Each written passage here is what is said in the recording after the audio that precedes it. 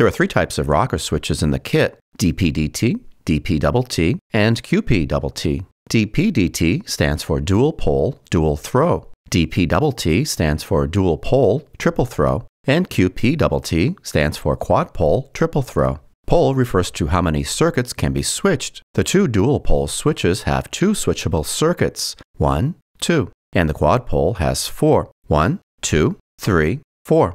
Throw refers to the number of switch positions. The dual throw switch has two positions, one, two, and the triple throws have three, one, two, three. Now that we understand switches a little better, let's get them installed.